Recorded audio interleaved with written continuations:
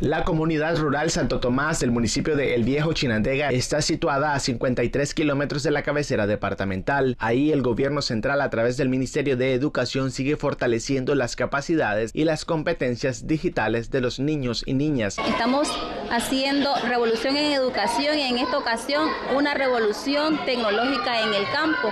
Esta actividad se está realizando en 15 centros educativos del departamento de Chinandega, específicamente en escuela de multigrado. Alegre, contenta por el beneficio recibido por parte de nuestro gobierno y la compañera Rosario Murillo, habiendo seleccionado nuestro centro con estos aparatos tecnológicos que vienen a beneficiar a niñas y niñas del sector rural para que en este avance, pues con la tecnología ellos vayan de la mano con su, en su enseñanza. Este esfuerzo es con el fin de aportar a la construcción de aprendizajes centrados en el ser humano que permita garantizar la educación integral con calidad y calidez. Por ello, en este 2023 se realiza en 80 centros a nivel nacional. Eh, me he sentido nervioso un poquito porque yo ya, bueno, la primera vez este, yo no sabía, pero la usé bien y me siento feliz y nerviosa a la misma vez. Me siento contento por todo esto, porque lo ha ayudado en la escuela en un avance.